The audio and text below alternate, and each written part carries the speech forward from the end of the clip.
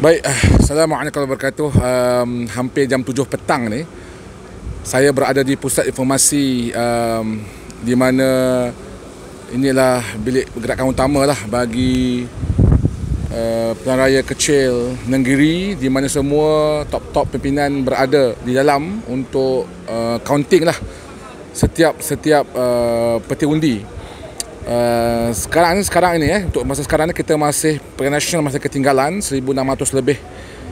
Dan um, itu seperti yang kita maklum sebab um, undi yang dapat di peti-peti undi orang asli orang asal uh, kita masih lagi menunggu uh, masih lagi dalam proses untuk uh, counting proses counting di semua peti undi berbaki di Perasu, di Kampung Jerik, um, di Limau Kasturi, Jeram Tekoh, di Perasu dan uh, Sungai Asap, banyak lagi.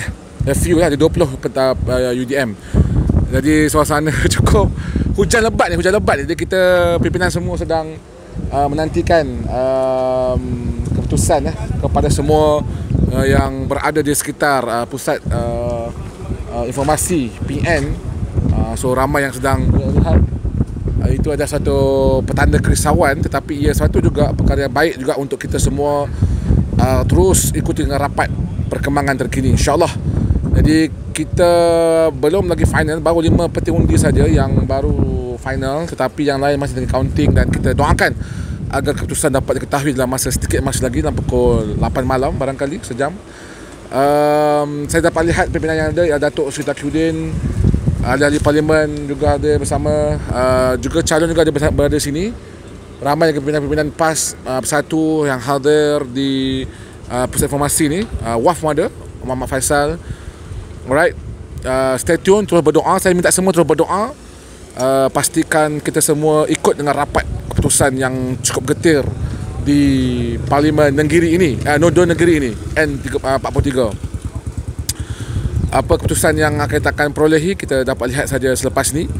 Uh, saya menarik saya sini paling menarik setakat yang saya hadapi uh, PRK-PRK sebelum ni. Wallahu alam uh, anda boleh komen di bawah antaranya yang telah komen awal termasuk yang Anwar Musa juga. Satu perkembangan yang menarik beberapa undi putih tidak keluar. Um, kita tidak mau jadi alasan tetapi kita akan terus memastikan anda semua terupdate lah. Semua tengah menunggu uh, dalam tu lah uh, pusat informasi dalam Alright guys, uh, komen-komen di bawah guys tolong saya sebarkan live ya, ataupun konten ini. Tenang tenang shot baru. Komen di bawah.